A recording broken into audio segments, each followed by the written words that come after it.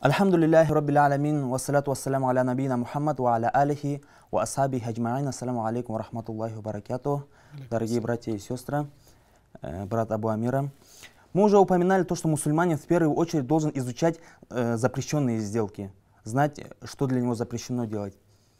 И сегодня э, с Абу Амирой рассмотрим э, следующие вопросы.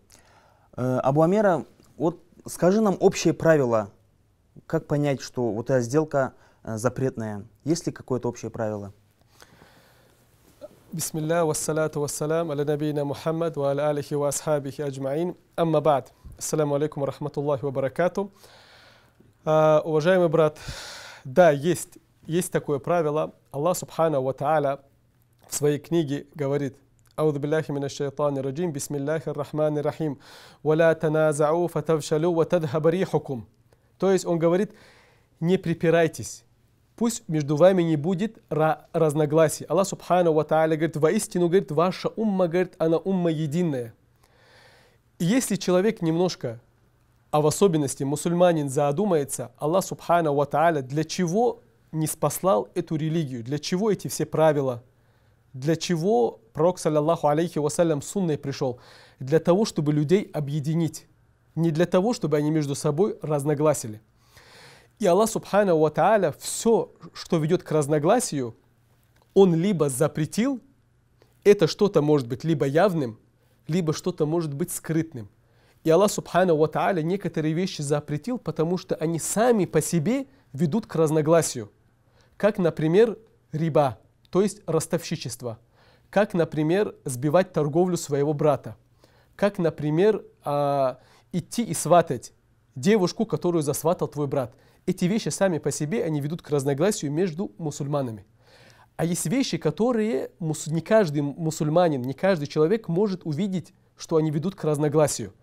Но Аллах Субхану Ва Тааля и его пророк, саллаллаху алейхи вассалям, они запретили их для того, чтобы а, мы не попали а, в разногласия между собой. Может быть, мусульманин с первого взгляда не видит то, что эта вещь запрещена.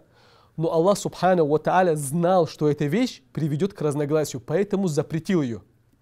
То есть он запретил не саму эту вещь, а какой результат может сделать эта вещь. Поэтому лучше не заходить сюда, то есть в эту, в- в- в- не заходить в, эту сделку, потому что она может привести к негативному ре- результату. Вот. И основное правило, вернемся к нашему вопросу. Основное правило, всякая сделка, которая ведет к разногласию между мусульманами, к спору, а, к судебным каким-то тяжбам, а, к поеданию чужого имущества, это все запрещено. И, инша Аллах, мы непременно об этом расскажем чуть-чуть попозже, и в этом вы сами, дорогие братья и сестры, убедитесь. Джазакаллах хайран ахи. Э, Давай теперь разберем конкретно запрещенные сделки. Давайте. а, сделки в исламе делятся, во, во, во. если мы посмотрим на все запрещенные сделки, мы уп- упомянем их обязательно, то есть три общие вида сделки, которые присутствуют во всех запрещенных сделках. Во-первых, это ростовщичество. Во-вторых, это неопределенность. И в-третьих, это притеснение или поедание денег чужих без права. Это три вида сделки, которые это общим, в общем. Но под ним есть подвиды.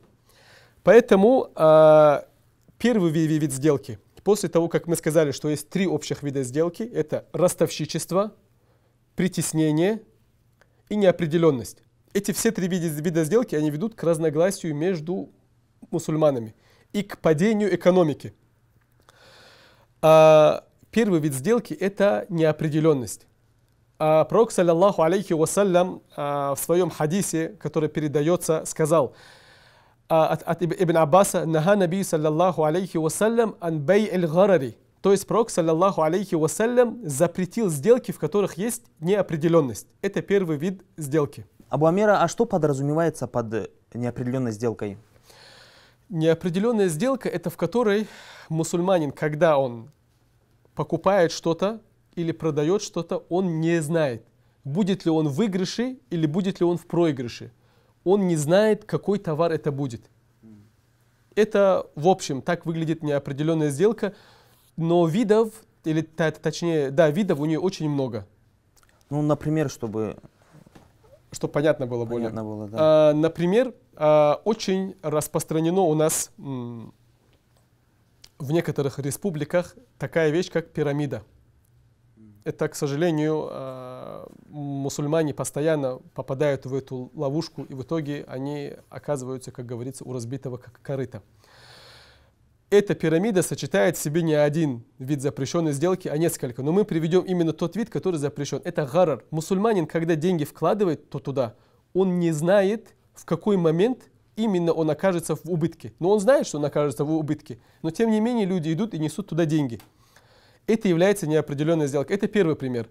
Или, например, второй пример. А, Я тебе говорю, купи у меня, там, например, автомобиль.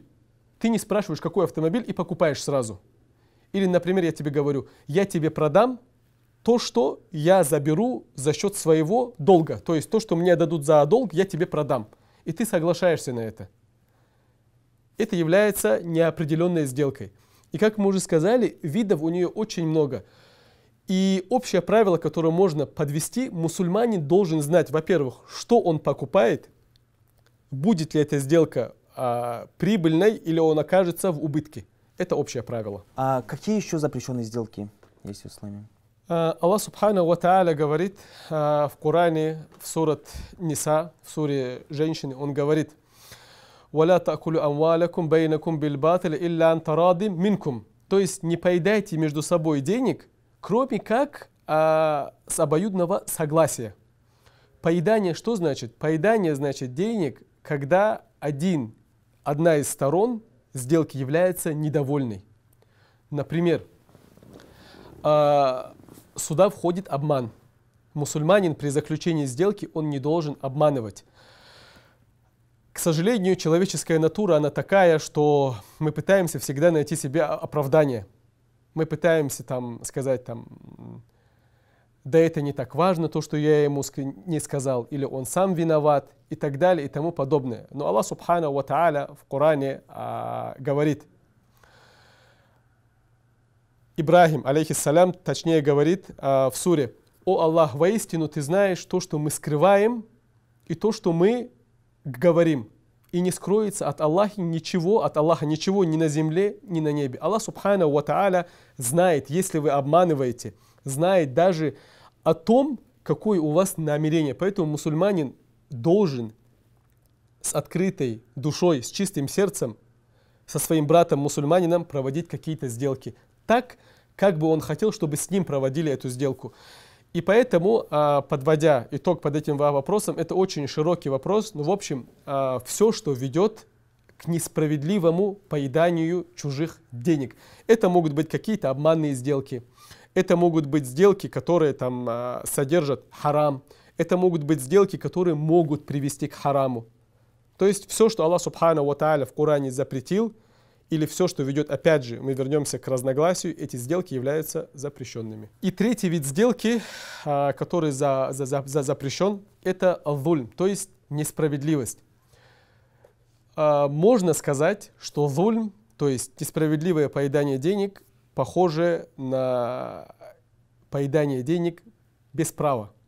Но, наверное, не зульм, несправедливое поедание денег, наверное, это какое-то что-то более общее. И у него, под него входят какие-то определенные сделки. То есть ростовщичество – зульм, поедание денег без права – зульм, а сделка, которая является с неопределенным концом – это зульм. То есть все это является зульмом. Это подводя итог. И а, подводя итог, мы скажем то, что три вида сделки основные, которые запрещены. Это неопределенные сделки, это сделки, в которых есть несправедливость, несправедливое поедание денег. И еще есть одна сделка, это риба, это ростовщичество. И это самая-самая-самая сделка такая, за которую Аллах Субхану Ва Тааля наказывает. Инша Аллах, мы в следующей серии это обсудим. Почему? Потому что это немножко длинная тема, и я хочу, чтобы наши уважаемые братья и сестры проявили внимание в этом во- вопросе. То есть, чтобы именно конкретно к этой серии, к следующей, они отнеслись со вниманием. Потому что риба, ростовщичество, многие мусульмане совершают ее, и они сами не подозревают о том, что они входят в эту сделку. Мы, иншаллах, приведем примеры, и вы сами убедитесь, что многие вещи, которые вы делали или, возможно, слышали о них, они входят в риба, в ростовщичество. Барак Аллаху фикум ва джазакум Аллаху хайран.